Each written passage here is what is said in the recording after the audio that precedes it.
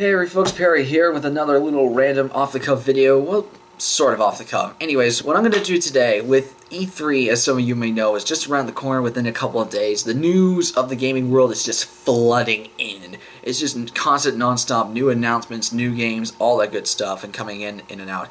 Now, normally around this start of time, I would do a kind of perspective video giving my general thoughts and opinions about, say, a certain conference or a certain news story.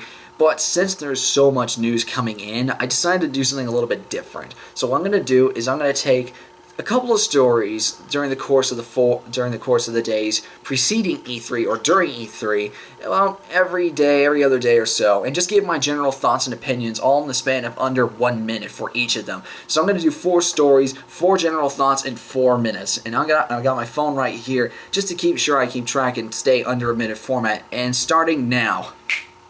Alright, Kiefer Sutherland playing Metal Gear Solid 5 as Big Boss. Personally, I'm a little bit indifferent on this matter. I mean, granted, I would like to see David Hayter come back as the voice of uh, Big Boss as Solid Snake or Naked Snake, and just seeing it, just keep consistent with that line. I mean, considering the fact they're keeping the Japanese voiceover and doing the motion capture for him, it only makes sense, at least in my mind, or at least I would like to think that it would make sense to keep David Hayter as just been tradition up to this point.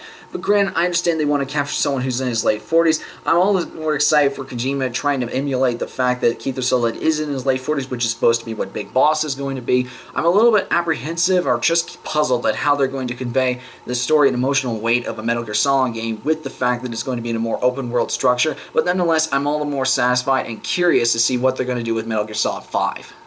Alright, next story is Lightning Returns Final Fantasy 13, which makes me start off with my very first question. Why the hell is Snow back? I mean, seriously, why do you keep bringing this character back? He's the most annoying piece of crap I've ever seen in Final Fantasy game. I'm sorry, I really can't stand the character. Anyways, back to the game itself. I'm really puzzled. I'm really curious to see where the story is going to go. I know that the 13 universe is not exactly well liked amongst the Final Fantasy community. It's perfectly understandable. In my opinion, it's just big, one biggest crime is that it has a really, really bad case of big, just crappy writing.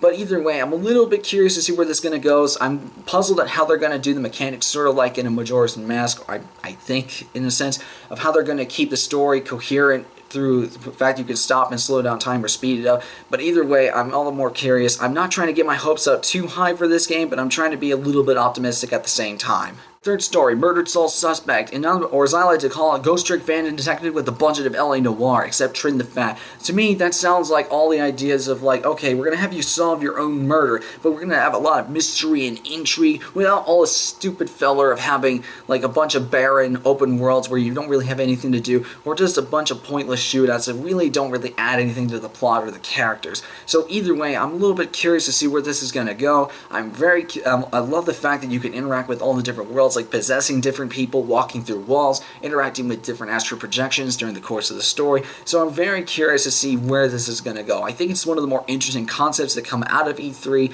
or at least before the E3 news and before all the stuff gets really overshadowed. And I think it's great the fact that we're having such a new IP come in so late into this console's life cycle and the fact that it might actually go into the next generation of consoles. Alright, my final story for today is probably my most excited one is Castlevania Lords of Shadow 2. If I had to sum up my opinion opinion into one simple gesture, it'd be like this. Holy crap, this looks awesome! I can't believe how epic this looks. I mean, I love the first Lords of Shadow game. I thought it was a really cool, interesting take on the story of Dracula and just having the origins of the character and understanding where he came from, why he became as evil as he did, and you really got the idea of a sympathetic villain. I, you know me, I love a good sympathetic villain. And so with this one, you see a little bit more of how he's lost his power. He wants to be removed of his curse of immortality, and just this game feels so big, grand, and epic. And I was just like, yes, this is what I wanted. I mean, when the first Lords of Shadow trailer came out last year at E3, I went completely bonkers over it, and I was like, this game had better impress me with its next big trailer,